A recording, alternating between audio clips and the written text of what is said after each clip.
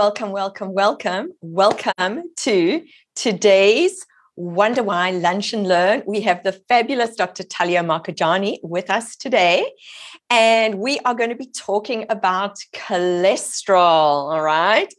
But before I introduce Dr. Talia formally, let me just tell you who I am and what you're doing here and why Dr. Talia is coming to talk to us. So, my name is Tracy Seider, and I am a movement coach specializing in pain relief and body shape change for women over 40, particularly women over 40 who are stuck behind screens and are sick of their stiff, achy bodies. They're done with their stiff, achy bodies and they are ready to get in shape, feel pain free, and age well without the sweat, strain, or time suck of traditional exercise because that really sucks. And there is another simpler, smarter way that I tell you all about in my Reshape Method program, which Dr. Talia has done. Mm-hmm. But Dr. Talia, thank you so much for coming to join us today. Cholesterol is a big subject and it's a big taboo, and there are so many different opinions about that. So, welcome. Let me thank you, Tracy. Introduce yourself again. and tell everyone what you're going again. to be talking about today. Yeah. So we Talia and I called this podcast in the background "Eat the Damn Eggs." Eat the damn eggs. Yeah. So we'll give away the punchline, but that's yeah. so if you have to run, now you know. Yeah. yeah.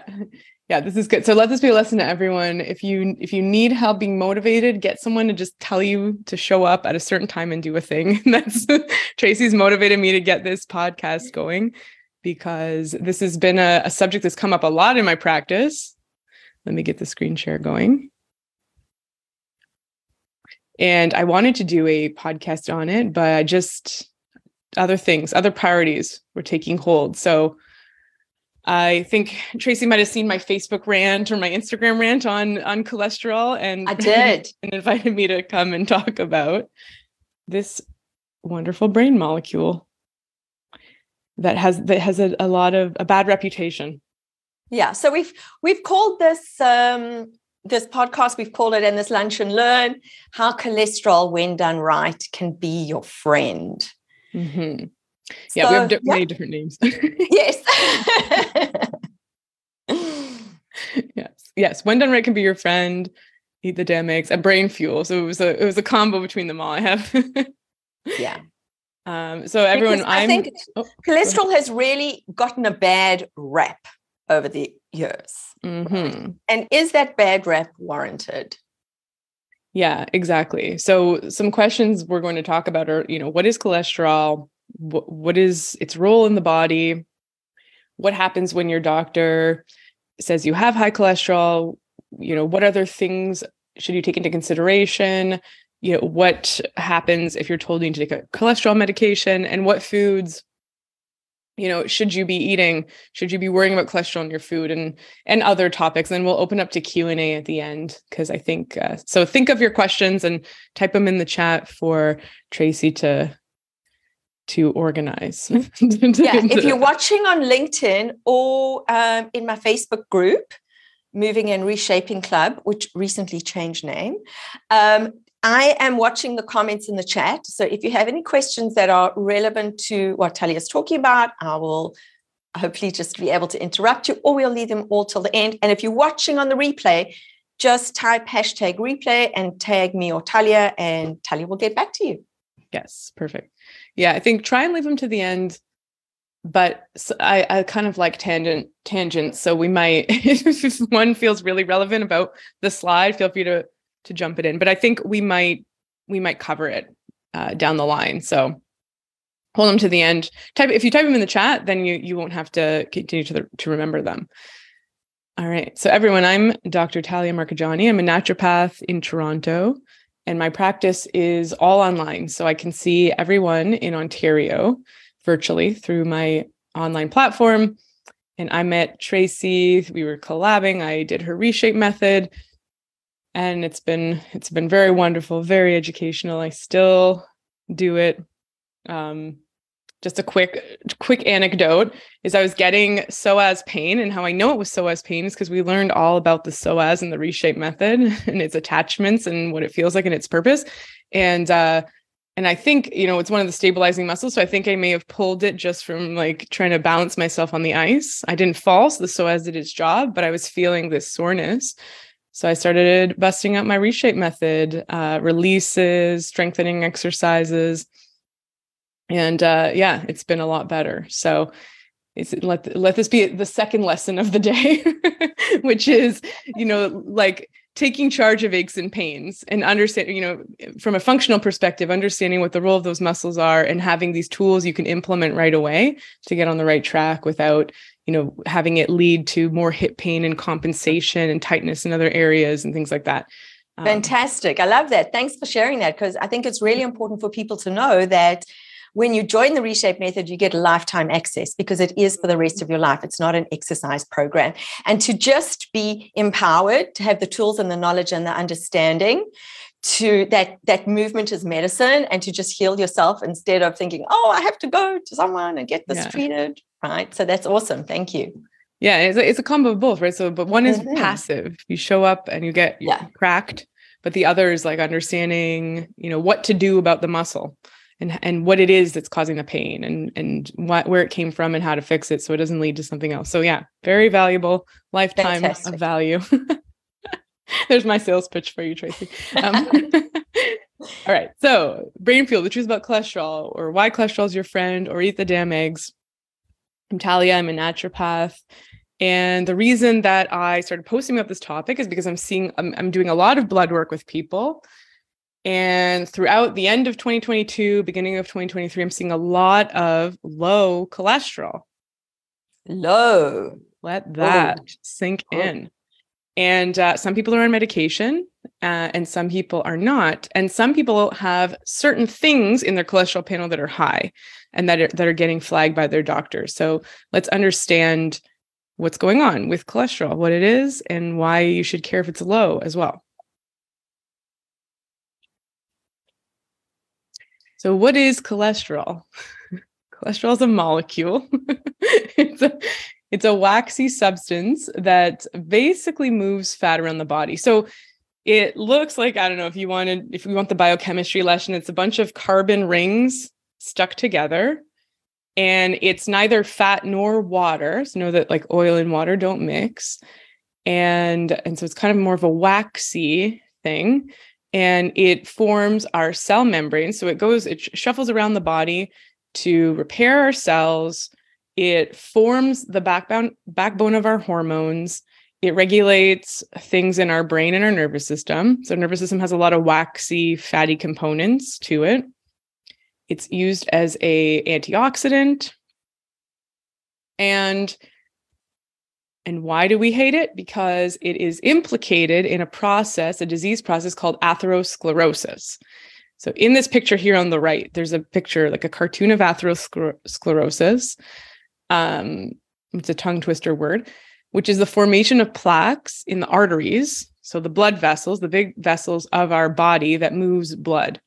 And atherosclerosis becomes a problem because it impedes blood flow. So, if you think of like your, a clogged drain in your house, if you if the drain starts to clog or get some things uh, um, blocking it, you get less flow through the drain through the pipes. So you have less blood through in the body. This is going to cause circulation issues. It'll cause issues getting nutrients to the body, nutrients to the brain, and the end result of atherosclerosis, the, the big problem is the risk of heart attack or stroke, in which the blood vessels of the heart or the brain are occluded and the, the heart or brain can no longer get blood. And the end result of that, that we're trying to avoid with heart disease prevention, is death. So it's important to think of cholesterol like that, right? We don't care when when we're thinking when you know your doctor's concerned about high cholesterol, they're concerned about cholesterol implicate cholesterol's implications in atherosclerosis, how that might lead to a cardiovascular event like heart attack or stroke, and ultimately how that might lead to death, right? Because we know that heart disease is the number one cause of death in Canada. So it's a big And I think if we can add there as well that heart disease, many people don't know this, heart disease is the leading cause of death for women over 50. Yeah. It's not breast cancer, it's heart disease. Yeah. Yeah. Heart disease and cancer is number 2 Mhm. I believe. Yeah. Um, so this is the problem, right? So we want to prevent atherosclerosis, which is a plaque that's formed of immune cells. It's formed of there's cholesterol at the site of the plaque. So the plaque consists of LDL cholesterol. Um, and then eventually it starts to lead to a block. There's there's a lot of inflammation at that area. It's important to know how that process begins. So there's a lot of theories. Nobody knows 100% for certain. But the first thing that sets the process off is damage to the blood vessel wall. Then you get cholesterol going to the area, and then you get immune cells, and everything starts to clump and coagulate and starts to form a clot. So we're going to talk about is cholesterol the only risk factor for death from heart disease? Okay. That's because we don't Mhm. care. Like your doctor might be looking at your cholesterol panel to see is your cholesterol coming down, but what we care about is the end the end marker, right? Not the blood marker of cholesterol. We care are we getting heart disease prevention? Are we reducing your risk of having a cardiovascular uh, event? All right. So cholesterol does lots of good things in the body, but is involved, implicated, has been accused of causing athero- atherosclerosis. Amazing. Okay. If you're watching on Facebook, give us a thumbs up or a heart Put in the comments to let us know that you are with us. Yes. Very interesting, right? So there's a bunch of different things. When you when you get your blood work done, you check your cholesterol. Cholesterol has a bunch of different things going on. There's total cholesterol. Okay, that tells you what is what is the grand total of all the cholesterol in your blood that we can detect. Okay, and that is usually the main thing that we talk about when we talk about cholesterol. So usually your doctor's looking at that number to see is it under a certain level? And that number depends on other risk factors. We'll talk about that in a second.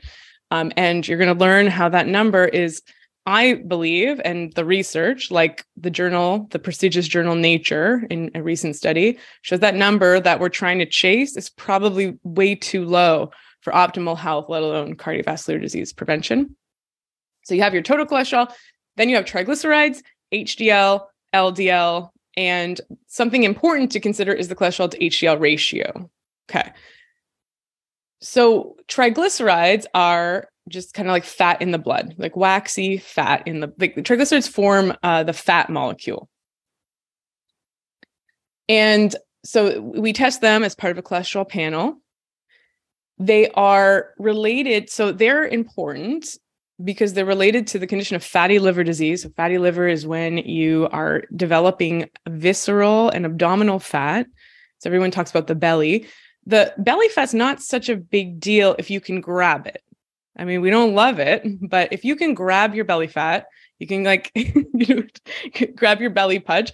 It's actually that's subcutaneous fat. It's we don't love how it looks, but it's actually not harmful to your health what is harmful to your health is visceral fat. So that's when you can feel that your your abdomen has gotten larger and it almost feels hard.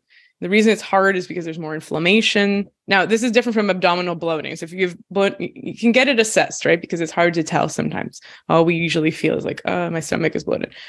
So if you feel it, there's a lot of um almost like a, a distended belly that's very hard um, sometimes fat in the face can reflect visceral fat but when we have fat around the viscera and we have fat around the liver, it starts to affect how our metabolism works and it starts to affect our health overall, increases inflammation. It affects our liver health, which we're going to learn is very important for our overall health and our metabolic health and managing cholesterol. So, high triglycerides are associated with fatty liver. They're associated with insulin resistance and a condition called metabolic syndrome, which is a precursor sy- uh, syndrome to diabetes, where you have high cholesterol, you have high insulin, high blood sugar, a lot of abdominal fat, high blood pressure. So ideally, you want to keep triglycerides under 1.7. Even better, I would like to see them under 0.8. So the lower, the better. Um, we usually test triglycerides in a fasted state. So it's a good idea to go fasted, even if your doctor doesn't tell you to. Avoid eating for about eight hours. Go first thing in the morning before breakfast, drink lots of water. Uh, don't drink coffee. So this is called the fasted state, and we see what triglyceride levels are when at baseline. Because after fat, after consuming a meal uh, that's higher in fat, you can get a temporary rise in triglycerides, just like you can get a temporary rise in glucose after eating a meal that has sugar in it or carbohydrates. All right, so we're looking at fasted triglyceride levels. We'd like to see under 0.8 the higher the triglycerides, typically, the more insulin resistant someone is. And there's other ways to test insulin resistance, but this is a really cheap way to figure out if insulin resistance might be at play. All right, the next one is HDL cholesterol. What does HDL, HDL stand for? It stands for high density lipoprotein. okay. Uh, so cholesterol is packed into these lipoproteins. This is this is you you came for the whole lesson. So here it is. so these lipoproteins are we have a picture of it in the other slide. It's like the round uh, ball that's packed full of cholesterol and fat and triglycerides.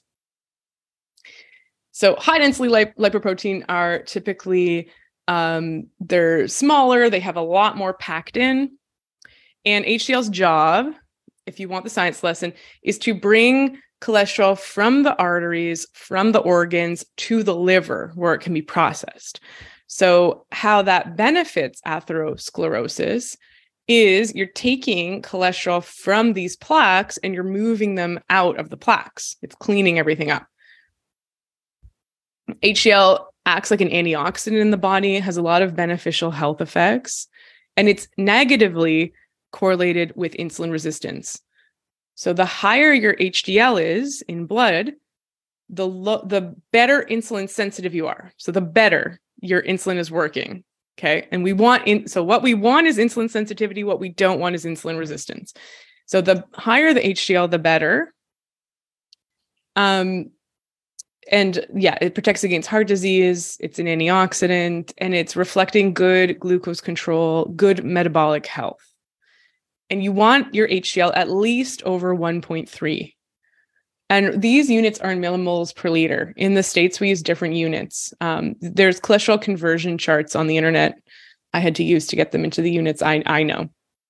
So if you're from the States, these might these numbers might look weird. You have to do a conversion if you have different, like very strange numbers on your blood test. They're probably using different measurements.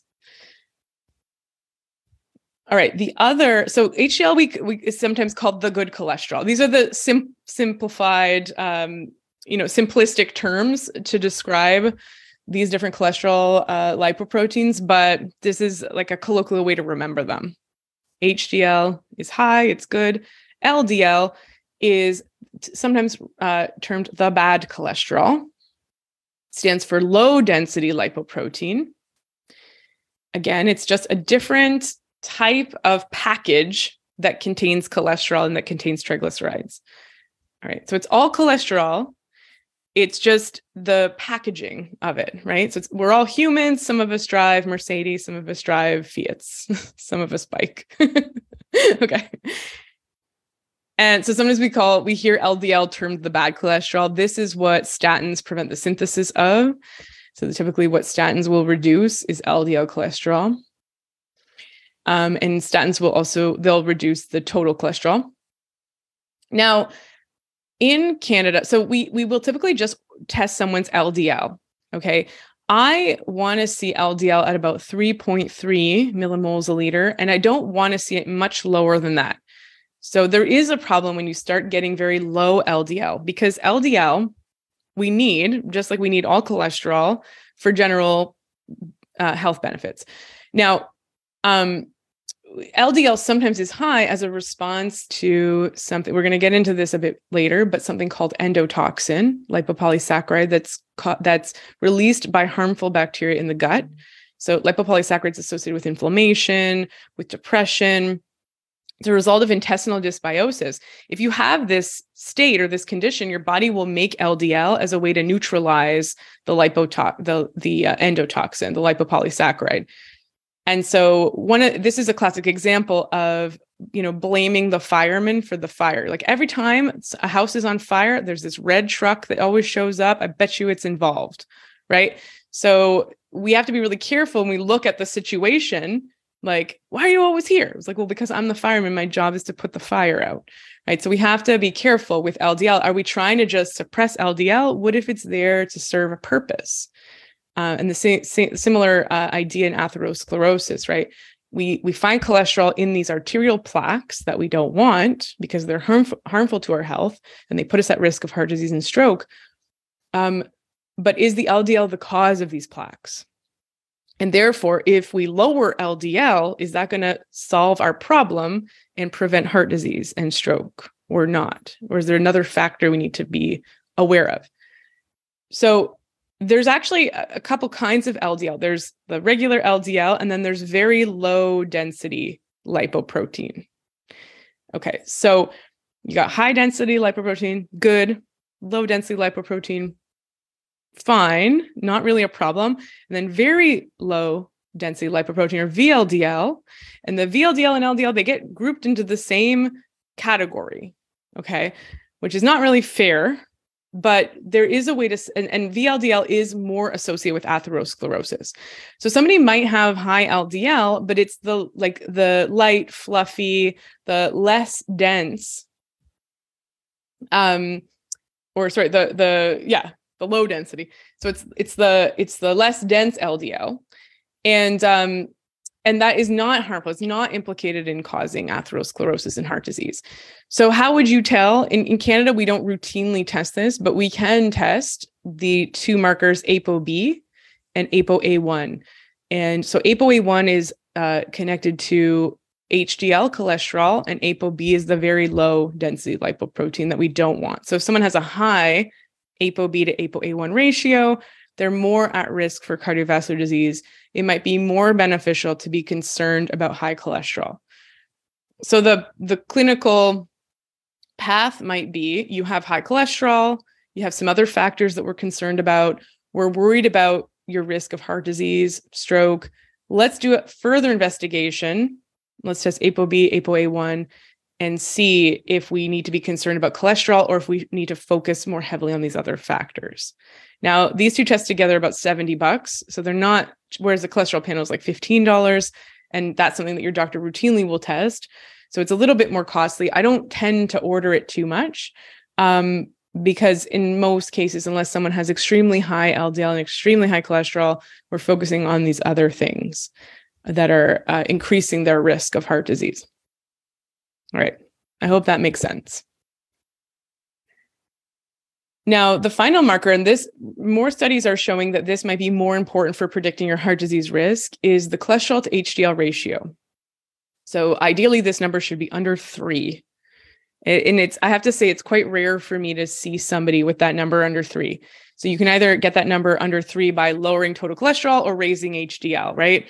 So, and again, because HDL reflects metabolic health, only 12% of humans in North America are metabolically healthy, which means that they their body responds properly to insulin, they regulate glucose optimally. So I'm seeing a lot of elevated cholesterol to HDL ratio. So meaning that somebody's HDL is they don't have enough HDL to, you know, out of their the total cholesterol, not enough of that cholesterol is HDL. And this is just done with a calculation. You take your total cholesterol, you divide it by HDL. It's done for you in the labs. They give you the number. Okay, that 12% is pretty shocking. But yeah, I know. That's yeah. for another conversation, right? yes. Okay. Yeah. And we're going to talk about that too. That comes up again yeah. in another slide.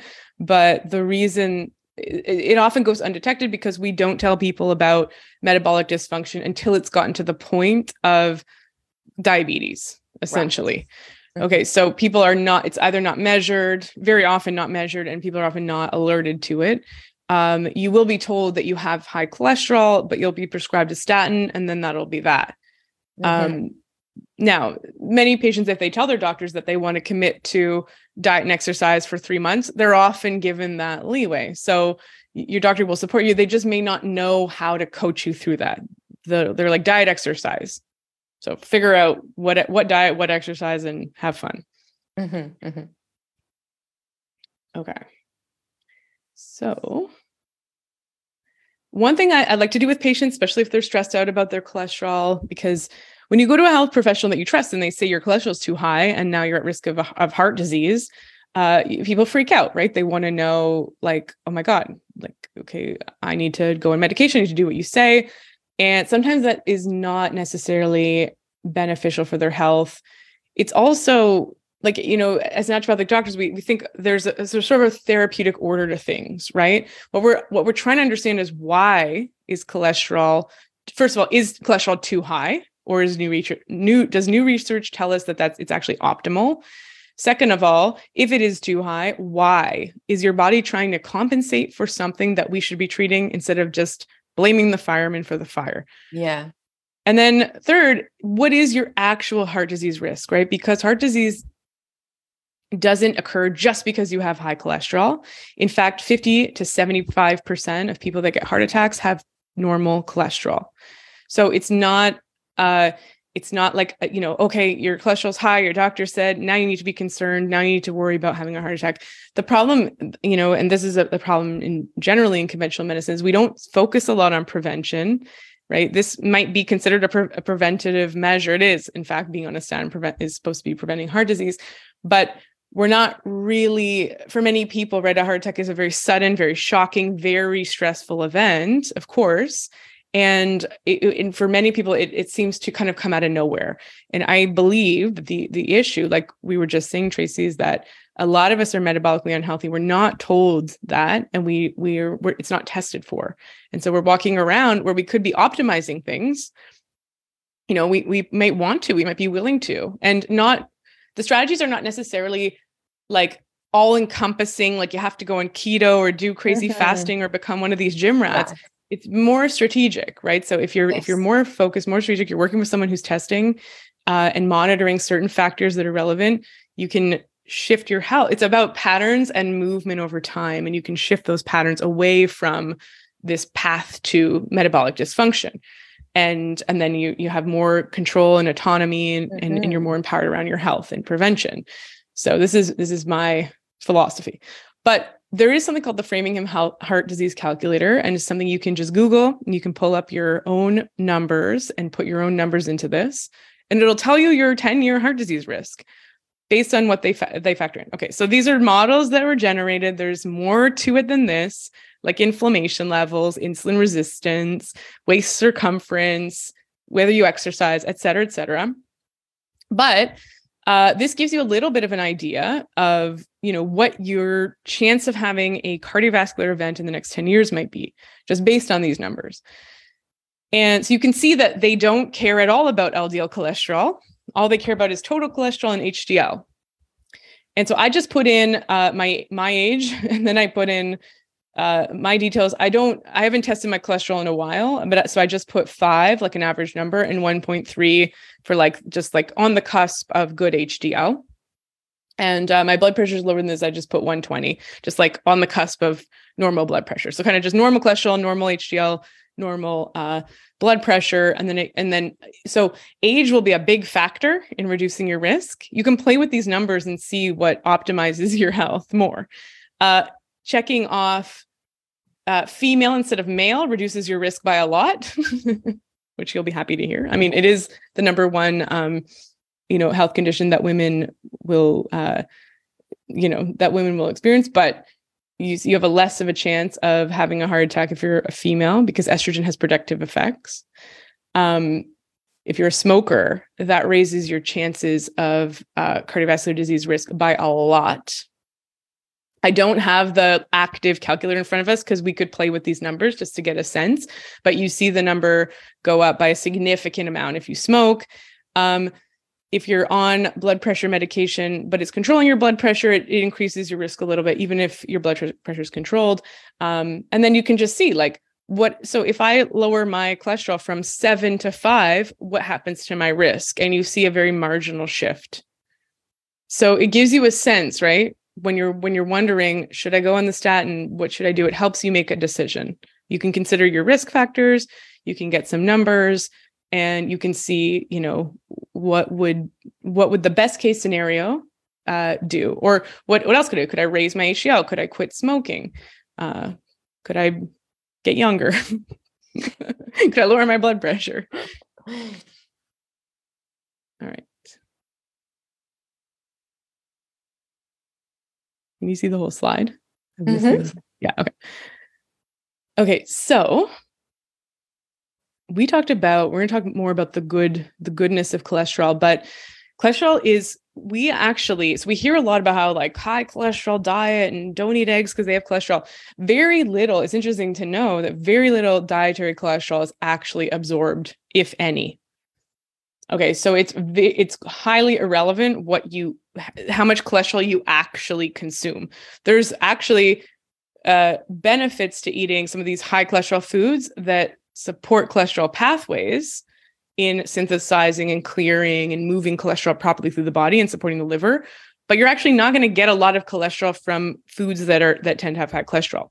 So that's interesting to know yeah so, wow yeah. that's big yeah so everyone remember so yeah eating eggs not going to raise your cholesterol no, eating any cholesterol uh like foods that have high cholesterol um it's not going to affect your cholesterol your liver synthesizes virtually all of the cholesterol that you need in your body.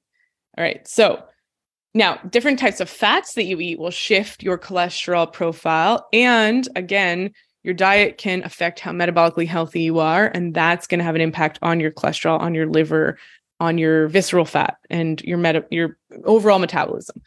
So that is important uh, certain nutrients that you consume are important, but your liver is making your cholesterol. So if so, people that went on like back in the 50s when they went on low cholesterol diets, their liver just ramped up synthesis and their cholesterol levels stayed the same. So there's virtually zero benefit to caring about dietary cholesterol and trying to reduce it. And if anything, all it's doing is depriving you of foods that are helpful for optimal metabolic function. Okay. Right. So there's a study in Nature um nature is a like one of the it's the the where they publish the the discovery of dna double helix so it's like one of the most prestigious medical journals that that there is and they published a study in 2019 and it looked at 12.8 million adults and it looked at like what is the most optimal cholesterol for humans that prevents all cause mortality so remember that we were like, okay, we don't like, we were worried about cholesterol for atherosclerosis. We were worried about atherosclerosis because we were worried about heart disease and stroke. We are worried about heart disease and stroke because we we're worried about dying. So why don't we just study cholesterol dying, right?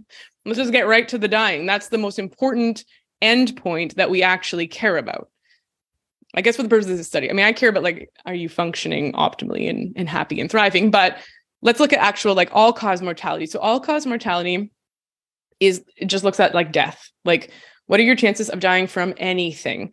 Not just heart disease, because if we only look at people that die from heart disease, we may miss people that die by suicide or that get into accidents and other things that might not seem related to your cholesterol, but might be because we don't fully under we might not fully understand the whole picture. So it is kind of the best endpoint to study, right? Like, what's the best cholesterol to prevent you from dying from literally anything? A piano falling on your head, anything. And so what they found was it's a U-shaped curve. So when your cholesterol is very and it goes the it goes it's a with uneven U's. So I guess kind of like a ladle or like a big dipper. So the highest all cause mortality is at the is at the part of the graph that has the lowest cholesterol. Okay. So you have the worst chance of the most chance of dying if your cholesterol is like zero. Then your chance of dying sorry that it's so morbid morbid wednesday uh, your chance of dying decreases so the bottom of the u there's like a sort of like a, it bottoms out so there's sort of like an optimal range where your chance of dying from any cause is the lowest and there's a certain level of cholesterol at which we find that your all cause mortality is the lowest and then as cholesterol levels start to increase, your all cause mortality starts to increase a little bit, but it never gets as high as when it's low. Wow. that makes sense. Okay. Mm-hmm, so it's a, mm-hmm. an N even you. Yeah. So the optimal level. J? Yeah, like a like a woo yeah. J. you know, like a like kind of a, a U with like one end a lot higher. Okay. So the optimal levels, and I have the US units, are so in, in Canada, 5.4 to 6.4, which is kind of wild because that is routinely flagged as too high in my patients. Okay, so if you think of a, a total cholesterol, so TC means total cholesterol, total cholesterol of 6.4 is often wildly higher than your doctor is going to want it. So, this is an example of how current re- this is a big study 12.8 million people. So they, they've taken a, a lot of data right? And it's the endpoint's all cause mortality. So they're just letting other other factors that could be contributing to this that like do people with this level of cholesterol just like you know do they make more money? Do they have better shelter like better life situation and things like that um it's possible, right? Like these are not perfect studies because we don't control their epidemiological studies. So it just looks at like huge populations and measures their cholesterol and measures other factors. They're not perfect, but they're so big that they give us very compelling information. And so the, the conclusion by these authors was are our targets set too low? Right? Like are we chasing really low levels that are they're actually not optimal for preventing death? And so preventing death or like the the the lowest all cause mortality, like prolonging life as long as possible. I guess you could look at it that way. So optimal levels is 5.4 to 6.4 millimoles per liter. Much higher, I guarantee, than your doctor will want it. If you have blood work in front of you, always obtain a copy of your blood work, everyone. Always ask your doctor for a copy so you can have it on your records. You can reference your numbers. But if you have a copy of your blood work, look at your uh, total cholesterol. Find is usually on page two or three of blood work, and uh, and see what your number is. And uh, so you want to be yeah 5.4, 6.4 was associated with the lowest all cause mortality in all adults. And then they had different cohorts. So men age 18 to 34, young men, it was a little bit lower. And women, it was even lower than that. Women age 13, 18 to 34. So these are younger women, teenagers, um, early 20s, early 30s. And then 35 to 44, it was slightly lower too, 4.6 to 5.6, but still uh, like I mean 5.6 you're often going to get. So the Canadian targets they want total under 5.2 if you have no other risk factors. So you can already see that's lower than optimal for the majority of humans. They found generally that uh, if cholesterol was 5.1 under 5.1 they had uh, there was a stronger association. So once your cholesterol started going under 5.1 there was a stronger uh, probability that the lower it got the more your risk factor for all cause mortality increased. All right? Versus like if it started to get really high like 8 or 9 the increase in risk of all cause mortality wasn't as strong. Okay. I should have just shown the graph. Okay, so, so the conclusion is the ideal is somewhere between 4.1 to 6.4, depending on your age. And lower cholesterol is more of a risk factor for all cause mortality. So this is like the ultimate mm-hmm. endpoint for any scientific study uh, than uh, um, than high cholesterol. Right. Okay. Now, so why? Why does cholesterol uh, when it's too low, what is the problem? Like, what is happening? So, there's a huge connection to mental health and cholesterol. And this is why I see it so often in my practice, why I flag it so often.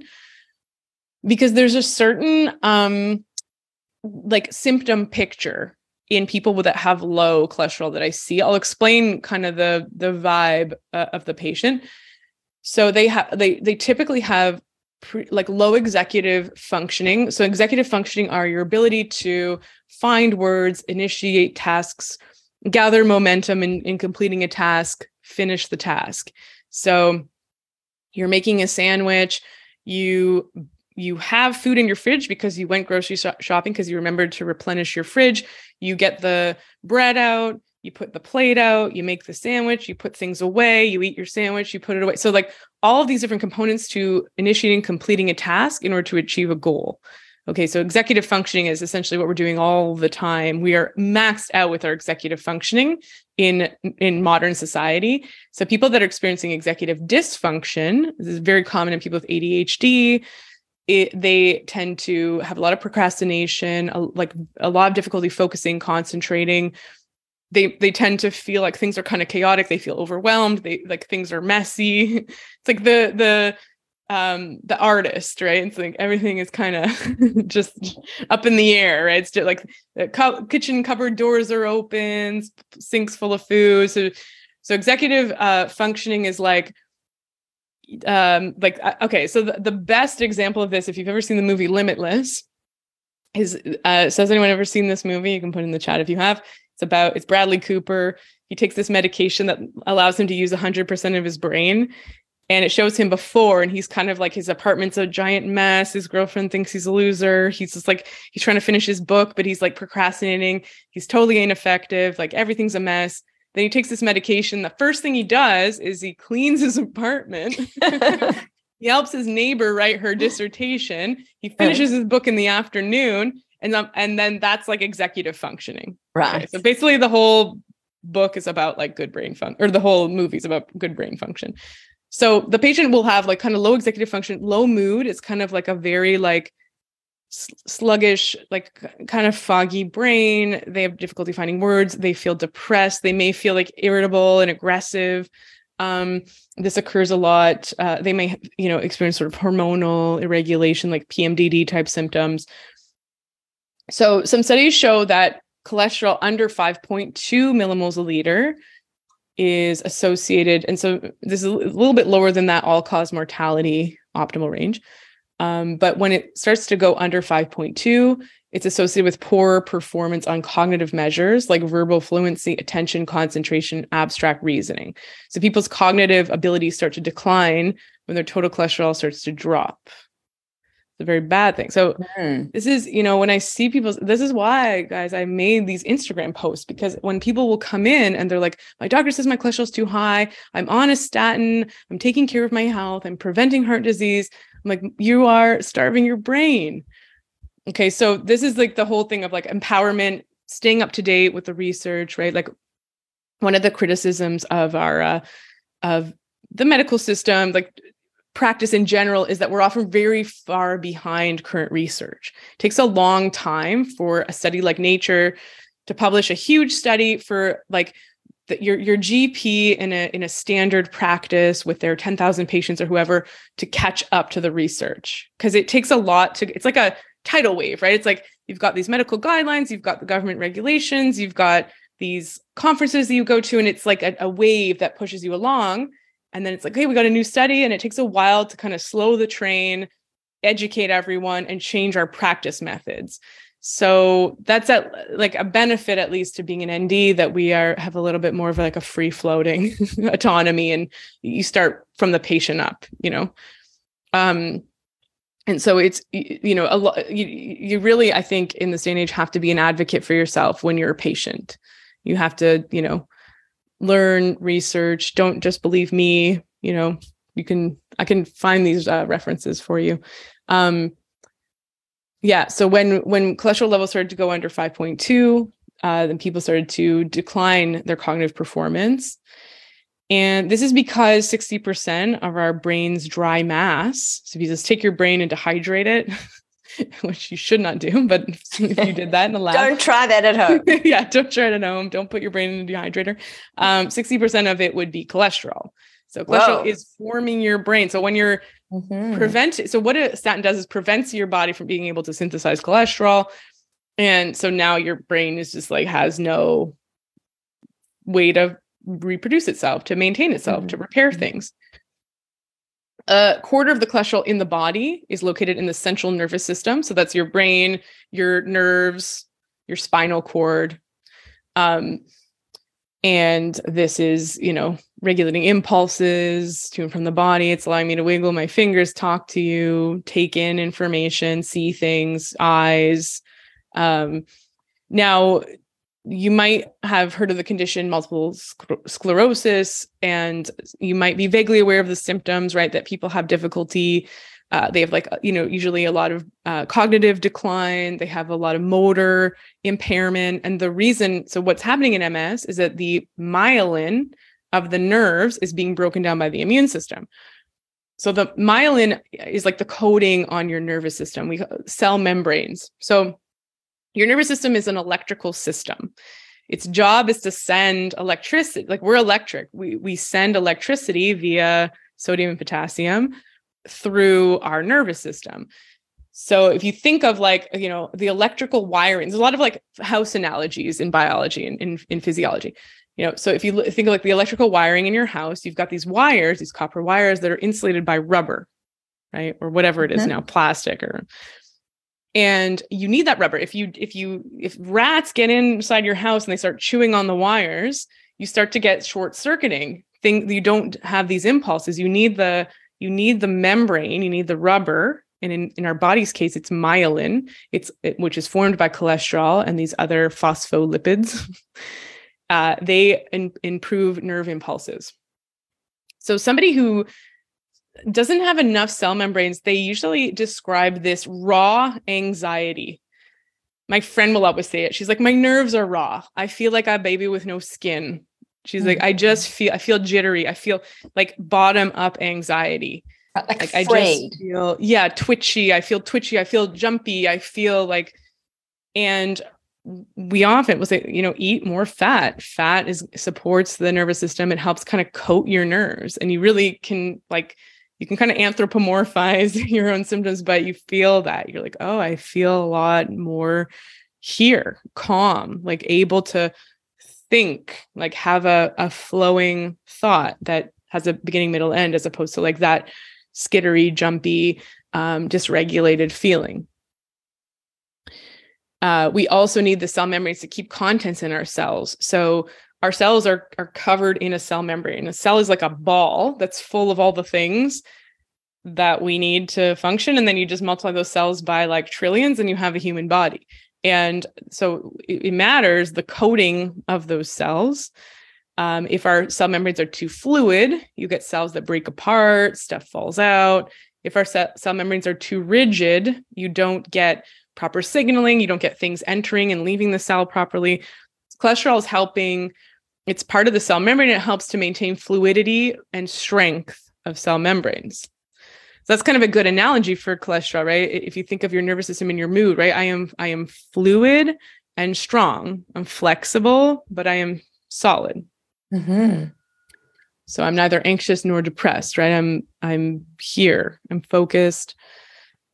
Um, and then cholesterol also plays a role in neuronal signaling. So make sure that the neurons are talking to each other properly, your brain cells, and neurotransmitter signaling. So it's involved in opioids, our own feel good chemicals, our endogenous opioids, and involved in dopamine, serotonin, um, the stress chemicals. So it's making sure that everything is organized properly in your brain. Uh, low cholesterol alters the production of serotonin. So it impairs serotonin production and the availability of serotonin in the brain. And so there, there was a study in the 90s that showed that people with low cholesterol were prone to, they were more at risk of dying from suicide. And usually, so uh, uh trigger warning, um, and usually violent suicide and then they they start to see this association with low cholesterol and aggression and violence and this has been replicated in primates and this starts to manifest itself when total cholesterol is under 4 and then again like i said when i i see so many people whose total is under 4 usually it doesn't get that low unless you're on a statin but this is a it's a concern because i don't know if doctors are aware that there is a lower limit to what you should be pushing someone's cholesterol. Um, so under four millimeters or millimoles per liter, you start to see depression, suicide, addiction relapse, executive dysfunction, cognitive decline, and Alzheimer's.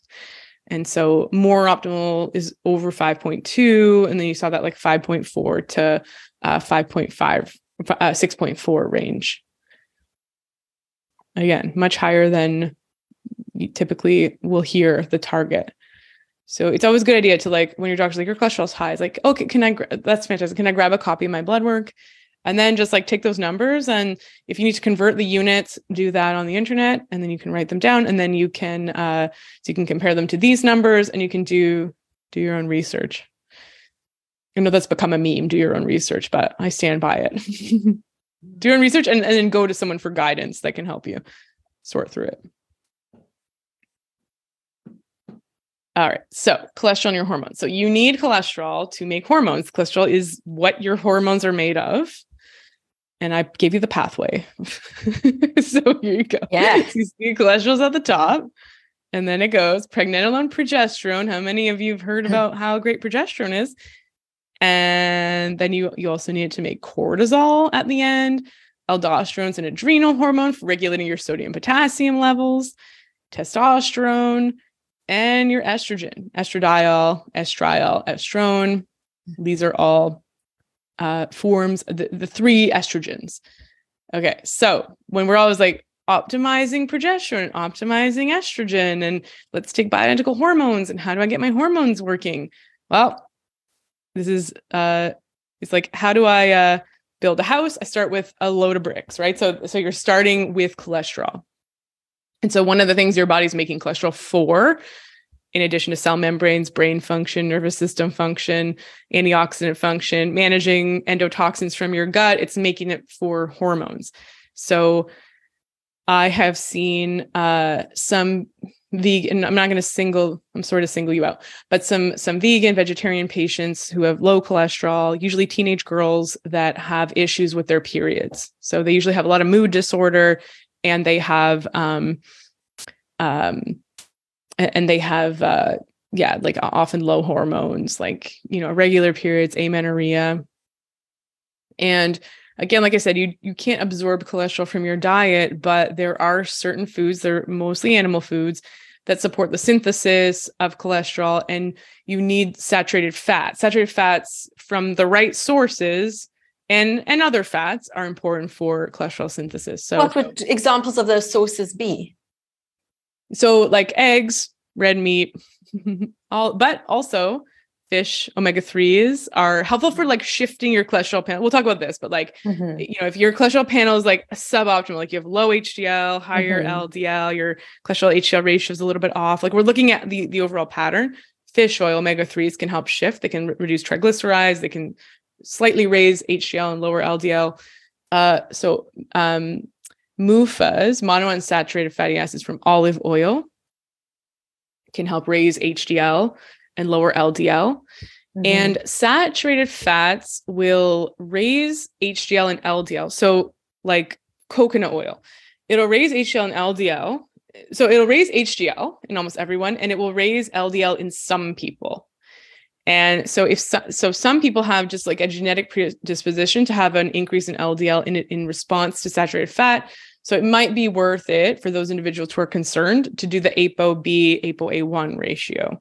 I know it's a $70 test, but if you want peace of mind, um, but then we'll also help you with other factors to, to look at. If, and if I think that this this chart that you're showing us is really really important for women over 40 yeah. which puts us in the peri and post menopause category that um you know we're complaining about yeah. testosterone estrogen levels progesterone and this whole concept of cholesterol as the precursor hormone to all of that is something that i see overlooked a lot. Yeah.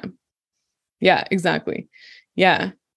And you know it's not like just more cholesterol can now sometimes the opposite happens. So during perimenopause some women can get an increase in cholesterol right, right. so there's almost this like feedback of the body's like okay we have this backlog now of the precursor.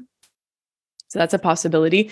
But what's what's happening a, a significant thing that's happening in perimenopause and menopause is that we're as we lose progesterone and estrogen we become more insulin resistant. And if someone already has a pattern of insulin resistance, it never usually comes out of nowhere. There's a pattern of insulin resistance yeah. being under muscled. And we often will start to see that really rear its head. So people start to get more abdominal weight gain.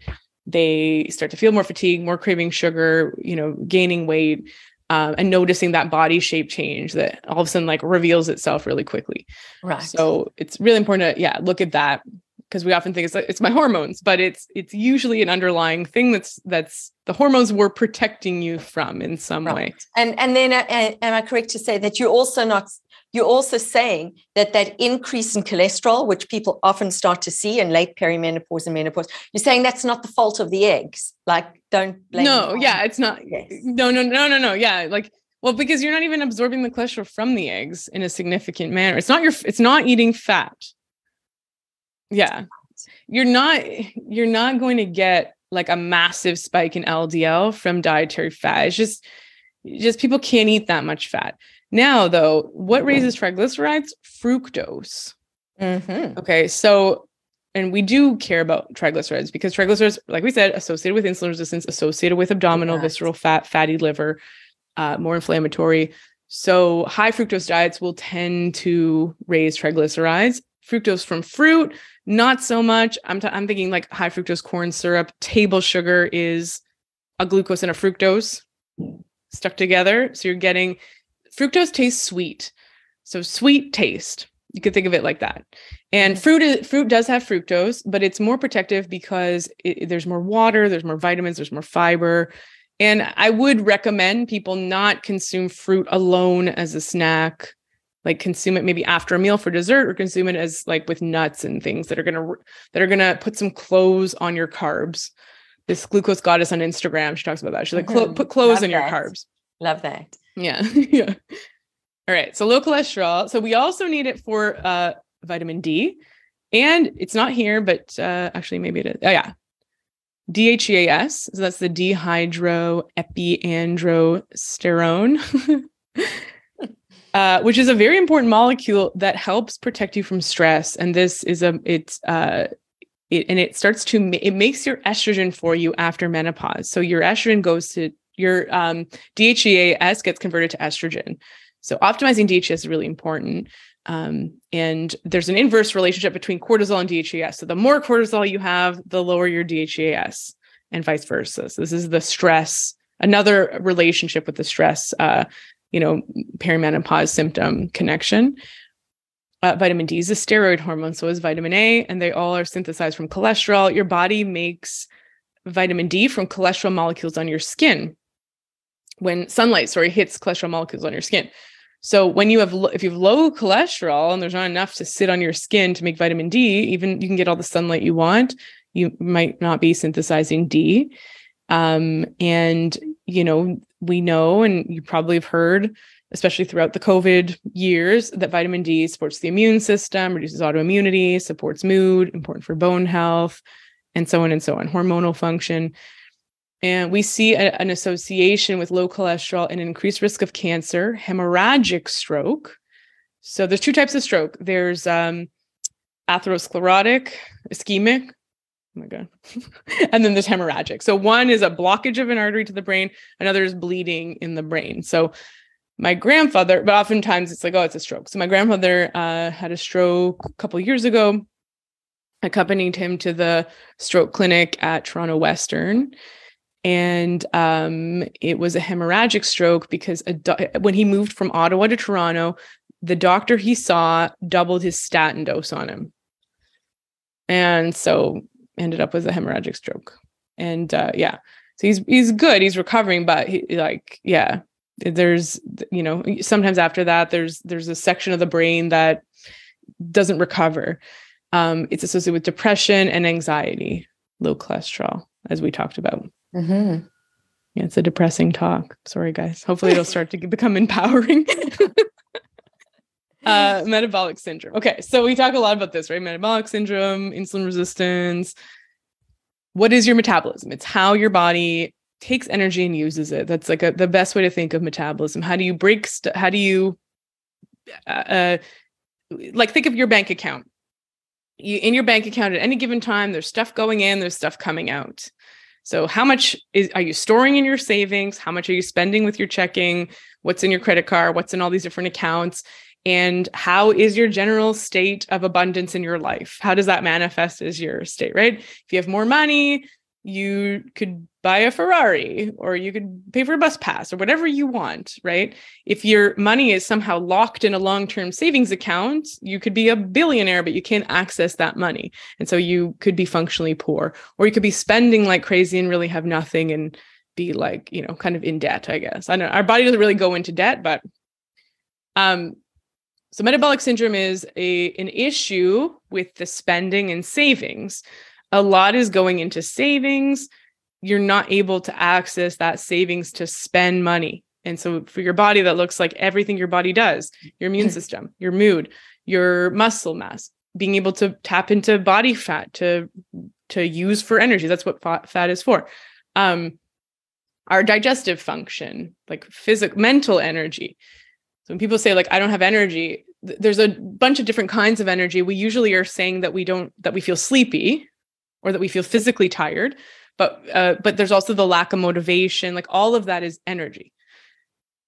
So metabolic syndrome is there's this connection between high so dyslipidemia. So this is the like high LDL, low HDL, high triglycerides. The cholesterol panels like out of whack. You got a low cholesterol HDL ratio. You'd probably have a high ApoB, uh, ApoA1 ratio. Your blood pressure is high. Um, 120 over 80 is like a good standard blood pressure, but there's different targets depending on whether you're on medication or not. Um, so, yeah, there's usually hypertension, there's abdominal visceral fat. Like I said, the way you can tell is you can't grab this fat. So, you can't pinch it, the pinch and inch thing. And often visceral fat is, is associated with a facial fat, which is very interesting like I learned that recently. I think that's recent research. So people that um, are noticing like, oh, I'm noticing like my face is getting thinner is actually a good indication you're losing some of that problematic visceral fat. Um, now, when you have visceral fat, that's where all your organs are. It's where your liver is. Liver is in charge of regulating our metabolism. It's like the big orchestrator of our metabolism of digestion. And so fat starts to accumulate on the liver. The liver starts to become more inflamed. It stops being able to function optimally. Um, with metabolic syndrome, you end up with a high fasting insulin. It might be normal in your blood range. The blood range is very high and it's rarely tested. So you have to ask for the test um, and you have to obtain the results. And then it, you should, you can run your fasting insulin, your fasting glucose through a calculator that will tell you your level of insulin resistance. Okay. Now, sometimes you might have elevated fasting glucose, but very often people don't. I just saw a patient who had very normal fasting glucose, but had very high fasting insulin. It was still in range, it was quite high. She had extremely high insulin resistance. She had uh, symptoms of, so she had very high triglycerides, low HDL, and uh, actually started to see, we started to see some elevated liver enzymes indicating that her liver was inflamed and struggling at this point. So, this, like, if you think of the continuum of events, she's already moved quite far along, but her fasting glucose, if that's all you're looking at, she looks totally healthy. Uh, wow. And so, that this is the, um, you know, when people like, oh, uh, my doctor says I'm healthy. I looked at my blood and I'm healthy. I'm like, and I'm not, you know, uh, that's great if you're healthy, but it, it, it's let's actually be certain of it by doing proper testing and and looking at things and and optimizing how you feel, and then not, you know, wait 20 years and like, oh yeah, okay, now you're diabetic. Hmm, where did that come from? Us, oh, genetic, you know. So you don't necessarily have to have fasting uh, glucose. Your glucose could be totally normal, but once glucose starts to become elevated, it's showing again that things are moving in that direction um, and like you're you're basically your insulin is no longer able to compensate and manage the glucose and keep it down. Um so yeah you want to get fasting insulin tested. You want to do your fasting glucose. Fasting means eight hours without food just water. And uh, and then you plug you can plug those numbers into the homa ir calculator. You can google that you can find that on the internet for free. You put those numbers in you got to change the units. It'll tell you how to do it and then you can see what your number is and you want that number to be under 1.9 and so you know 88% of people either using the homa, homa ir or a glucose tolerance test where you drink a giant glug of glucose it tastes absolutely horrific. 75 grams of glucose. So first you test your fasting insulin your fasting glucose then you drink the glucose drink and then you go back two hours later and you see how does your body respond and deal with that glucose load and uh, so if someone has impaired glucose metabolism they have really high postprandial after eating glucose and really wildly high insulin. And then what usually happens then is that your blood sugar tanks and that you feel like absolute garbage. And uh, then you're really cra- craving sugar and you feel anxious and you feel irritated and your brain can't really function. Um, but often we don't even notice that, you know. Um, so with metabolic syndrome, the liver is involved. The liver is this like kind of the organ that's at the crux of it all. It's getting affected by this, and it's also uh, it's it's like a vicious cycle. Like when the liver is affected by this, it has a difficult time making cholesterol properly, processing the cholesterol, uh, regulating blood glucose. And so you'll see like elevated triglycerides, low HDL. You might find um, elevated liver enzymes. So, in pretty standard blood work, your doctor might test one or all of the liver enzymes. And these are uh, molecules that your liver produces when it's under distress. So, examples are, like alkaline phosphatase, uh, gamma glutamyl transferase, and they, we have like short names from ALP, ALT, um, GGT, AST. And, you know, your liver is really important for processing, not just, you know, not just you know regulating your blood sugar and making cholesterol but also it's your it's the filter. It's the brita filter of the body. That's where all the toxins from our environment are passing through. Um, that's where the hormones are passing through so we can clear them when we don't need them anymore. Um, and so how that might be relevant is that if you're it's it's kind of like um taking out the garbage. So you order takeout, you eat the food, now you have the takeout container. That needs to go in the recycling, then you put your recycling on the curb, and then the, the recycling people come and take it away. So if there's a backlog, if you're having trouble like remembering to take your recycling out, you're going to end up with this accumulation of takeout. And what your body tends to do with that is say, okay, I'm not going to order any more food then. So if you're making hormones and then those hormones are getting uh, broken down into their metabolites, and some of those metabolites may produce symptoms that we don't want more anxiety, more of the estrogen dominance kind of symptoms that we don't want, more weight gain, things like that, um, heavier periods, irritation, stuff like that. Um, your your body's like, okay, well, there's enough of this estrogen metabolite, so let's not make new estrogen. So it can block that pathway. So you need to have be able to clear that uh, metabolite out of your system. So your body's like, oh, okay, okay, now we need to make fresh estrogen. We need to ramp up production. Don't know if that makes sense. A lot of stuff is kind of like uh, complicated. So your liver needs methionine and choline, which are two ingredients found in meat and eggs, to function optimally. And there are some, so we know we can make someone have fatty liver by simply depriving them of choline. So if some so mice, if you want them to have fatty liver, all you do is take away their choline and methionine. You put them on a low choline, low methionine diet, and the mice all get fatty liver. People who are in the hospital who are receiving parental nutrition, parental nutrition is uh, like uh, IV nutrition. It's not from your parents. Your, your parents the IV. Uh, if they forget to put choline, and I guess this must have happened back in the day, if choline is not in the feeding tube or in the IV nutrition, all the patients get fatty liver. And so you can imagine they're not eating too much food, right? It's it's literally mm-hmm. IV nutrition. So it's not an over uh, abundance of donuts or something like that. It's just a de- de- deprivation of choline. So choline can prevent is widely known to prevent fatty liver. Choline you find in eggs and meat. Um, to a lesser extent, and liver. Liver is the most abundant source of choline. So meat and eggs. So that's one reason to eat eggs. Now, I don't know. This is a real quick aside, a little bit of a tangent, but how? So you can put in the chat if you've seen some of the news stuff, it comes through my feed. It might not, it comes through my algorithms. It might not come through yours. That eggs are associated with blood clots. Has anyone heard this? Eggs, like. Let me check the chat. Somebody reminded me of this because uh, when I shared the the promo of eat the damn eggs or eat the darn eggs. Yeah. somebody was like, and now they cause blood clots. I heard like like a joke. Um, so choline so okay the eggs blood clots and now it's like scaring everyone they're like we can't eat eggs um so choline in the gut can be converted into something called tmao right and this is a uh, molecule that is associated with blood clots and it's associated with cardiovascular disease now fish which we know is good for your heart and good for your cardiovascular system, is the highest food in TMAO, it just actually contains TMAO.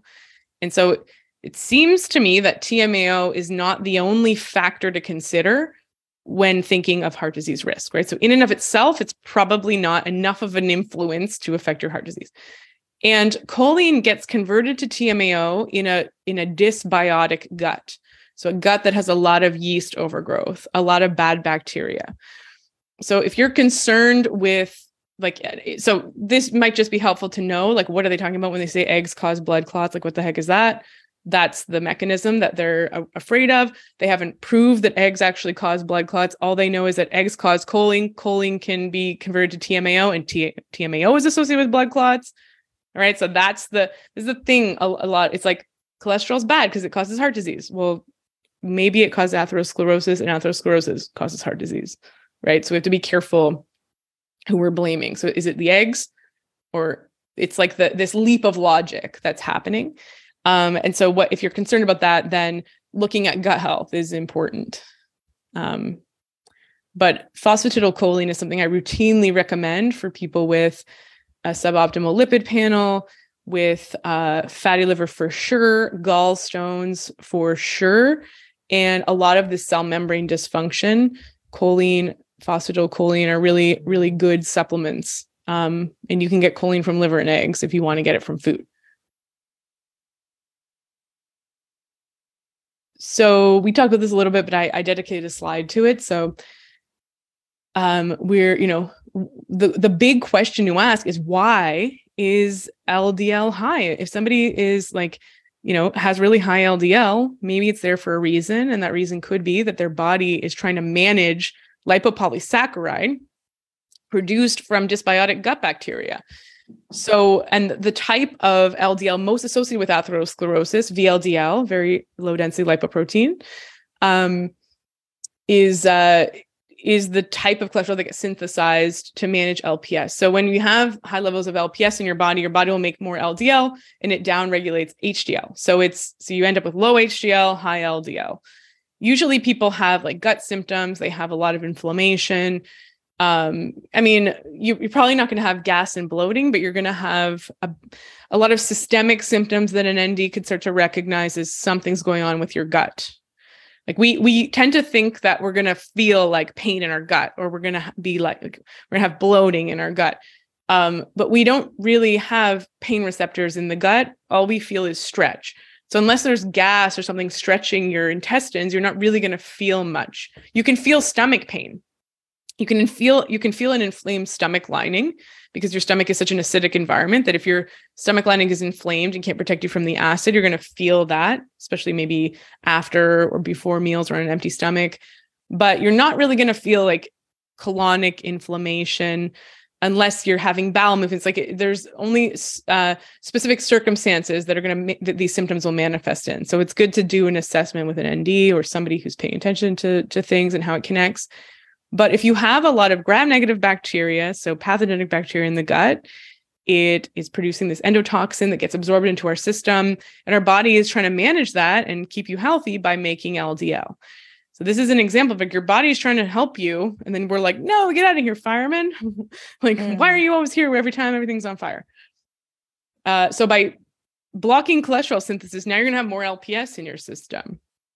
And we know that so if you inject mice with lipopolysaccharide or endotoxin, they get they get depressed, severe depression. They get inflamed. Um, and so it, it has a very negative effect on the brain and mood. And this is like part of the gut brain connection. Right. Um, yeah, yeah, yeah. Yeah. And so there's this like kind of old school, he's like kind of like this guru nutritionist guy called Ray Peat, and he recommends raw carrot. He has his uh, Ray Peat carrot salad. You can Google it. It's, it's actually pretty yummy. Uh, he likes raw carrots because he says they absorb endotoxin. It's probably true. They they have a good amount of fiber. They've uh, beta carotene. They're they're good for you. So can't hurt if you like carrots. He like shaves carrots and he throws raisins in it, and then he does like apple cider vinegar and olive oil and different things. So you know, can't hurt. Eat a couple carrots. Um, probiotics and prebiotics. So certain probiotics are uh, can help reset the grant the bacteria in the gut. So if someone has a lot of like, yeah, if they have a, a lot of LDL, everything else kind of looks normal, like their cholesterol panel is a bit off, and they, they there there's some signs of gut dysfunction. We might uh, go, uh, you know, all disease begins in the gut. We might take a gut centered approach, and so uh, the probiotics S. boulardii and L. rhamnosus, which is actually Culturelle, um, those are both helpful for reducing gram negative bacteria and they can help reduce lipopolysaccharide.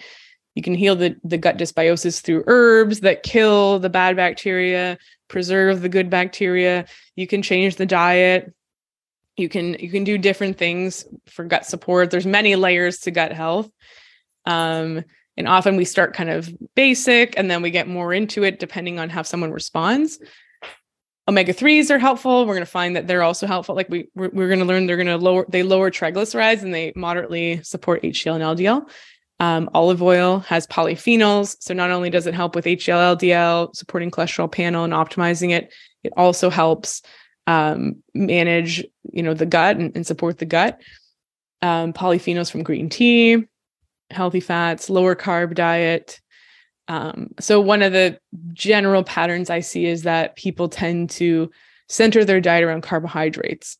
And carbohydrates are not bad for you, but when you're eating a very high carb diet and you're and you're not like an athlete, you know, it tends to put you more in a blood sugar roller coaster and it deprives you of being able to eat enough good fats and protein to to to function optimally and maybe that's one of the reasons. It's not so much that we're eating so many carbs is i don't think we're eating enough protein and fat to clothe mm-hmm. our carbs and to balance our blood mm-hmm. sugar. And so we're seeing a lot of these like blood sugar roller coasters eventually leading to metabolic dysfunction. Um all right statins. So statins are the most prescribed drug in north america. It's a I, don't know the exact number off the top of my head. I'm going to say multi-billion dollar industry. Um so you know if you're a conspiracy theorist well you don't need to be a conspiracy theorist. This is just capitalism. So they work by blocking hmg coa reductase which is an enzyme that makes cholesterol. So they literally just block cholesterol right at the source so your liver wants to make cholesterol because it's got jobs to do. It's got to make antioxidants. It's got to build brain cells. It's got to handle these endotoxins that are being secreted into your bloodstream. And sounds like, nope, you cannot make it. We are halting this construction site. We are, you've got all these bricks, but we're not going to allow you to build a house. Um, so they come with several side effects you can imagine, right? Because so the thing with uh, medication is that there Eh, like you know you could think of like a river right? So there's many different paths to a river and if you go way upstream and you block the river at a because you're like oh i don't like how that river goes like southwest and where it ends up.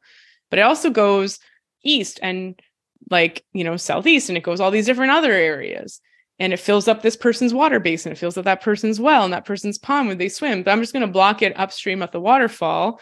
Now all these other downstream pathways are affected so what you start to see with statins is you get increased insulin resistance, 70% increase. Okay, so if you're already dealing with insulin resistance, now you're on a which is the main risk factor for heart cardiovascular disease, contributing to inflammation, influencing metabolic syndrome, probably the reason why triglycerides are high and HDL is low. Now you go on a statin and you end up with more insulin resistance or you increase your chances of getting it if you don't already have it. Rhabdomyolysis is muscle pain. This is a commonly known side effect of statins. And how is that? Why is that happening? Uh, because your mitochondria, which are your muscle is rich with, your brain is rich with, are being damaged by the statin, erectile dysfunction, similar mechanism. It's affecting blood flow. Um, so those are the most common side effects. Uh, you, you might also get cognitive dysfunction. Um, I had actually just quick aside, I had a whole family that came to see me they cooked with uh, vegetable oil. So that was their main cooking oil. And a colleague that saw them before me told them to switch to avocado oil. So they did. And like the the child's ADHD went away. The mother's fibroids improved and her endometriosis improved. And the husband was on a statin. His cholesterol like dropped like crazy. His LDL went to one point something and he was having brain fog, rage, aggression, depression. He was having difficulty like putting words together. And so we had to like, and he was very like hesitant to come off the statin, right? Because someone he trusted put him on it. Um, but so it's interesting like how effective diet can be just by improving the cooking oil. So uh, avocado oil is uh, MUFA, it's monounsaturated, similar to olive oil. And vegetable oil is high in omega 6, highly inflammatory. Um, it's pushing at more inflammatory pathways and uh, and it's increasing like it's it's pushing the cholesterol panel in the wrong direction all these seed oils that we hear about um, not the best for us. And so yeah diet had a miraculous effect on on all of them because fats are so important for all these different things for our hormones for our brain for our uh yeah for our mood. And um and then you know the statin was just pushing them him way too low. So we tried to kind of okay half dose still too still way too low. Okay let's try coming off. Okay now we're now we're great. So um so one of the things that statins do is deplete CoQ10 which is uh, an antioxidant that we need for fertility for brain health mitochondrial function heart muscle uh, skeletal muscle. So a uh, a more comprehensive MD will put you on CoQ10, tell you to take CoQ10 um, if you're on a statin. That's that should be best practice. That's like written into the guidelines uh, because CoQ10 is really important for heart health, and you're supposedly put on the statin to to uh, support heart uh, heart health, right? Uh, it depletes fat soluble vitamins because we know those come from cholesterol, vitamin A, vitamin D, vitamin E, and K. And it also depletes B vitamins, B9 and B12, also important for mitochondrial function. So it's important, you know. So what happens? Your doctor wants you on a statin, obtain your blood work, find out what the numbers are, do a little bit of research, ask your doctor what their ideal targets are. Okay, because your doctor might be like, I don't know, just lower, just under 5.2. But remember that 5.2, under 5.2 is going to start to increase things like all cause mortality, cognitive dysfunction. And if you start to get under four millimoles per liter, now you're increasing a host of mental health issues. So keep that in mind. Um, you could, you know, print out some studies and uh, tell them about that. So, just to be clear, though, you're not telling people who are on statins to just like stop taking their statins tomorrow. No, because you need to be monitoring your levels. So you need to know yes. like what's and you need to be working point. with someone, right? Making yeah. sure that you are dealing with the underlying conditions of what's actually going on. Yeah. So go to you know go to someone, work with somebody who's willing to like help you. Um.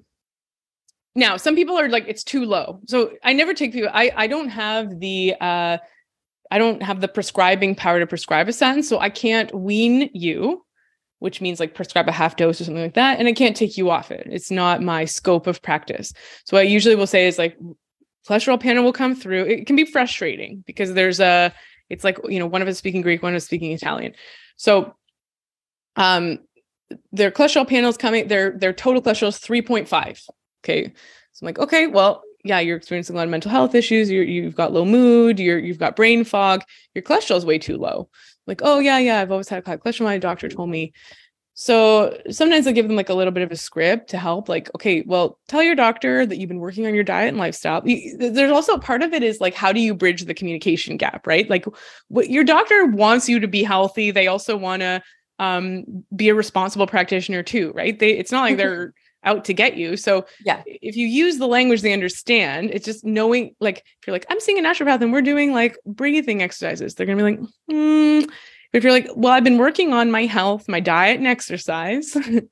and uh and I think that I would like to come off of my statin. And then they might say, okay, let's do a half dose, let's do none. It's it's always up to you, right? But mm-hmm. I would do this guided and it is good to have a team rather than this idea of like second opinion right? Is have a team of people. People are going to be looking at at your case your health from different angles. There may be like uh, you know you're ultimately in the driver's seat so there might be like two differing opinions coming at you. It would you know who do you trust? Well yourself. How do you develop that trust you know taking in the information weighing it and a, a lot of this right is this like idea of uh being responsible. Responsible doesn't mean like for your own health. It doesn't mean like you're the only one you're on your own. It just means like ultimately we are the ones that are going to deal with the consequences of our health right? Your doctor's not going to get muscle pain if you're on a statin. So being like aware of things, asking questions. Sometimes we don't know the questions to ask, so I can help patients with that, right? Like what what are the targets you want to see? Like okay, so you say my cholesterol is high. Well, what's my 10-year Framingham risk? And your doctor might be like, "Whoa, she knows about that." Okay. Sometimes just like knowing like if I say when I say doctor, I never say I'm a naturopath, but I will just like ask those kind of questions and you get a great response. And it, it helps, it really helps to navigate the healthcare system when you just have when you when you kind of understand what the practitioner's thinking, what their thought process is. The, the problem right in, in our system is that we don't always so i try and share my thought process with, with patients but we have enough time for that. Whereas if you have a 15 minute uh, you know visit with an md they don't always have that time. But if you know the questions to get to if you if you have like the list in front of you you, you can have a much better conversation you know and you know your doctor wants you to be successful. They want you to be healthy. They want you to understand you know the risks of not taking something. They want you to be aware and they want you to be informed. Like no doctor wants a patient that's just like like doesn't understand what's going on. So if you ask the right questions you're more likely for them to be like okay you know you you, started exercising and you started eating well with these big things. And uh, okay so maybe let's try and decrease your statin and and you might bring the nature study in and be like hey i just read this and saw that you know that under 5.1 is associated with all increase all cause mortality. Tell me about this doctor. And mm-hmm. they might be mm-hmm. like i've never seen this before. Or oh that's interesting. So it's just it's just creating a conversation asking questions you know. It's hard. It's not easy. You often need guidance. Like when i i, I broke my foot um and i was like waiting an hour and a half for to see the orthopedic surgeon. And i'd like forget the question like can i drive right? Like i'd forget the question. So it's good to have them written down be prepared. Um, and this is how we kind of advocate for our patient advocacy a big word now in the in the healthcare system. We know our healthcare system is really overloaded these days. So the more patients are able to advocate the better able you are to get good care and the better able you are to, to be heard right? And to have your needs met. We shouldn't always assume that those needs are just going to be met for us. Right. Um, unfortunately it's, it's sad but yeah um, so yeah, never just come off, start the conversation and and know that it is ultimately your choice, but it's good to do it informed, you know. Um so what do we do? What would I do? Someone's like so a lot of the time uh people will come to me early. It's the best time to come, not, you know, it's like, "Oh, my doctor said I have high cholesterol." Okay. And then they say, "Okay, let me think about it." And then they may book in with me. Maybe they already see me and so what we're looking at is like the individual, right? We're not treating your labs, we're treating you. So is there insulin resistance? Is there metabolic syndrome? That we got to prioritize. How's your liver functioning? Is there inflammation? Is your blood viscous? So this is one thing I didn't add is that atherosclerosis is far more likely to manifest in someone with inflammation and viscous blood, so like thicker blood. So you might have so if you have certain levels, like they're at the bottom, CRP, ESR, fibrinogen, if those are elevated in your blood, it's showing that your blood's more viscous, then it's more, then elevated cholesterol is more of a concern. Right. If you have, there's little ev- evidence that high cholesterol in the absence of inflammation is a problem. But if you have a lot of infl, and then what they think that statins do to prevent heart, a second heart attack. So statins are the best at preventing a second heart attack, not your first one. If you've already had a heart attack, then they reduce your chances of getting a second by 33%. It's actually about 1% if your chances are three. I know there's a lot, there's a kind of confusing the way I said that, but you can think of it as like statins are best for secondary prevention. If you, but one of the the proposed mechanisms is not that they're lowering cholesterol, it's that they're lowering inflammation. So inflammation may be the more important thing to focus on and uh and so you know and what inflammation does is kind of lowers blood vis inflammation raises the viscosity of your blood makes it more likely to clot.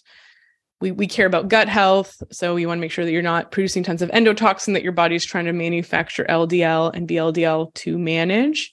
And relevant tests are fasting insulin fasting glucose hba1c which looks at your glucose control over time. This is a common test probably tested every time you get a physical. CRP, ESR, and fibrinogen, these test inflammatory levels, blood viscosity, and the liver enzymes AST, ALT, ALP, GGT. This is like a liver panel. Looks like, you know, that the, that should be uh, not lighting up at all. So the liver panel should be like quiet, no abnormal findings.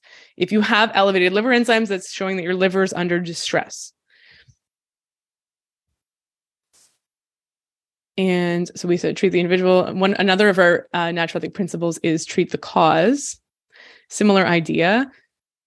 So we want to like with treat the individual. We want to get to the bottom of it. Like what other factors? How's your gut? How, what other lab markers are are showing up? What other things do we need to test? What more information do we need? Treat the cause is well, we actually need cholesterol for hormone function, brain function, antioxidants, soaking up endotoxin. So, you know, how do we support your body's needs and reduce your risk of heart attack and stroke and support your cardiovascular health? And so we want to reduce inflammation. That's a big one. What is causing the inflammation? Right? What is actually setting the house on fire? Right? And and that's why the firemen are there. So you want to get rid of the firemen, we got to we got to put it help them put out the fire um or like whatever turn the gas stove off or whatever's like keeping the fire going. Um, we want to look at nutrient deficiencies increase hdl it can be done through omega-3 magnesium vitamin d those are all important. Um, support insulin sensitivity make sure your your insulin signaling is is optimized um, and treat the gut. Look at dysbiosis look at fatty liver make sure the liver's functioning optimally.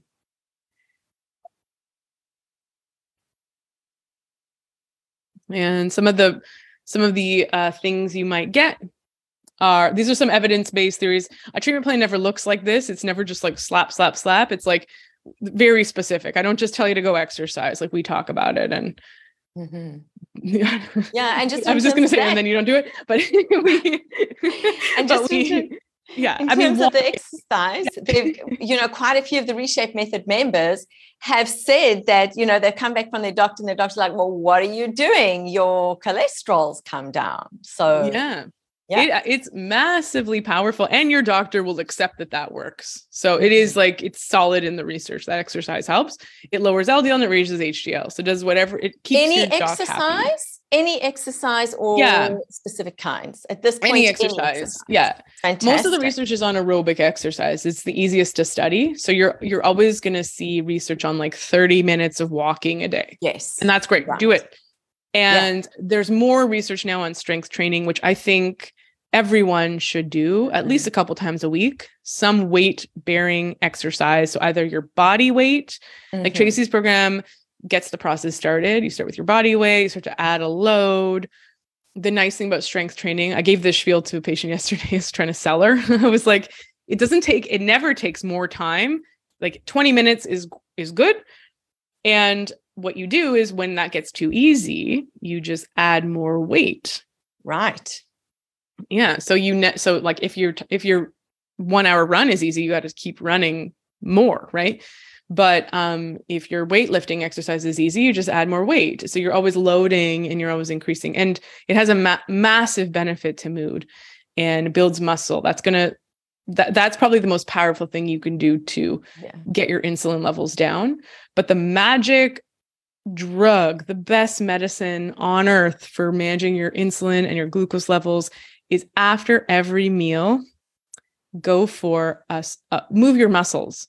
Yeah. Go for a it doesn't have to be a long walk. You don't need to go for an hour. Mm-hmm. Literally 5 minutes of moving your muscles after you eat will lower your glucose by 30%. Like not even an insulin Whoa. injection will do that. Yeah. Say that again. Shout that from the mountaintops. So 5 minutes of yeah. walking, whatever, getting up to mm-hmm. load your dishwasher, just do it in like a very flamboyant way. That will lower your glucose by 30%. Yeah. And that's the magic because I'm showing people how to get a lot more natural movement and walking into their day in the reshape method because we tend to overlook the simple things. Yeah, totally. Yeah, it's very simple and it's massive. I've seen people mm-hmm. with continuous glucose monitors. It's like it's like a like, what did you do? Did your doctor put you on a new medication? No, I just did what you said, the walking thing. Five minutes after meals, eat breakfast, get up, do like a shimmy shake, five minutes, go for a walk after lunch, go for a walk with your partner or your dog or whoever after dinner and you're good to go. And so that's like massive. That's has a huge impact. Probably more than like very like massive diet like diet changes are important but you probably get further with the walking thing. Um and why? What's the reason for that? So your uh your your what insulin's job is doing, what, what its job is, is to get glucose into your cells. Okay. So your like, I don't know, liver needs insulin to get uh, glucose in. So any of the cells in your body, your glucose level goes up. The cells need insulin to get to get glucose in so that they can use the glucose for energy. And your body also wants your glucose levels down. It doesn't want high glucose. That's toxic to your body. That's why diabetes is a problem because now your glucose levels have gone up. Your body can't control it and it's becoming it's it's increasing blood viscosity and that's increasing your risk of all kinds of different health conditions. High insulin's also a bad thing. It also increases inflammation. It causes your it, basically you're never in a fasted state. Your body's always acting as if it just got fed. So it's always telling your body to store fat. So your muscles, though, don't need insulin to soak glucose. So when you eat a meal, your glucose levels are going to go up. But if you move your muscles, it's like a sponge that sucks the glucose up, clears it out of your system without needing the subsequent insulin release. Mm-hmm. So you get this 30% reduction in your fasting glucose, and you're not getting this big insulin spike. And so over time, like what, what we're trying to do with insulin resistance is we're trying to reduce the load or the need for insulin. We're trying to get your your insulin to stop needing to spike to manage your glucose. So your insulin is managing your glucose currently. If you don't have diabetes, like if your blood sugar is normal, but you have insulin resistance, your blood sugar it's being compensated for by with insulin. So you've got high insulin managing your blood sugar. And so what we want is to like okay, insulin, you take a day off. We don't need you anymore. So the, the more you can prevent your sugar from spiking, less insulin you need, the more you can blunt glucose, um, the glucose curve. So moving your muscles, there's certain ways you can eat. So eating a plate of vegetables before meals, eating your protein, your veggies first, then your protein and fat, then your carbs after. Carb reduction. no one wants to hear that. Reducing that's a fast way to do it is you do like a mm-hmm. lower carb diet, uh, taking out sugar. So like you're you're blunting your um the glucose spikes, you're not requiring insulin release, and then over time your body starts to become more sensitive to insulin again. Yeah.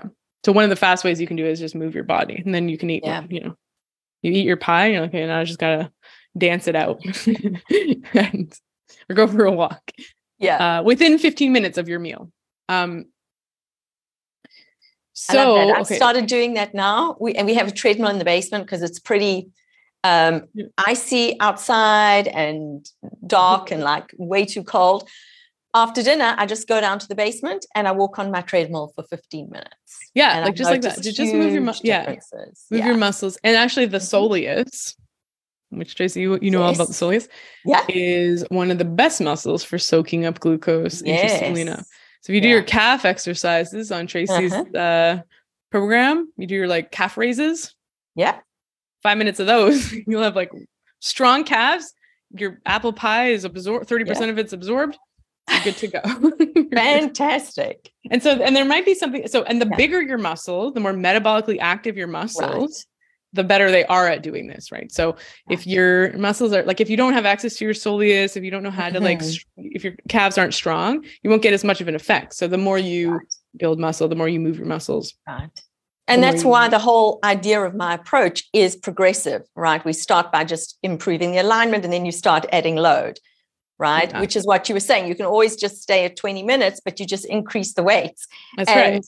I just turned 53 and I've got this little um, collection of dumbbells that I'm getting. If every birthday I'm asking for um, a heavier dumbbell. So I started off at 30 and then 40. And this year I asked for 50. And I just do a couple of deadlifts, mm-hmm. like 10, 10 deadlifts with the dumbbells, like a couple of times a day. And the difference in whole body muscle strength is phenomenal. Mm-hmm. And glute, and then you get like the the like squat bum the yes. like nice bum squat bum yeah it's the thing it's 10 so you get a 50 pound if that's your weight 50 pounds so whatever like you know 10 to 12 reps and you feel you feel like tired by the end you know yes. so you feel like okay i probably can't do 15 like i'm good at 12 i'm kind of maxed out you do you take a break uh-huh. you're ready to go again you do it like three times you know three sets and that you're you're good that's it so maybe you do like three different exercises, like deadlifts, squats, lunges for the lower body, I don't know, shoulder press, bicep curls, tricep overhead things Yeah. for the upper body. You do some ab, like you can you can alternate it. So like one day is one, one is the next, or you do a full body twice a week. Like it's a lot less than what people think, right? People are like I go to the gym for an hour. It's like Yeah, and I think people are also- there are for some reason i know i was certainly like this before i started doing this work they we're afraid to increase the load i know if we think we're going to bulk up but what i'm really encouraging people to do is like especially women like you've got to move on from the pink dumbbells they are not serving you pink ones, right Yeah. and they're definitely not serving your cholesterol either Yeah, no. Yeah. Yeah, start lifting heavier weights and uh and this will be this will I, I have like a whole email I sent people about how maybe, you know, insulin resistance and this there's a lot of theories on this insulin resistance may be caused by a lack of muscle. Our body's not able to compensate manage glucose anymore because it just doesn't have Right. enough of a muscle sponge. And that's the first place insulin resistance tends to occur is in the muscle. So Mhm. low protein diets, high stress, not you know too much cardio, which is breaking down your muscle. Yeah Too, you know, stress again breaks down your muscle. So Mhm. all these things, all these patterns, and the, the thing, it's not one thing usually. It's a pattern over time. And then so all we have to do is like understand what are those specific patterns and reshift. This is why here's a rant everyone.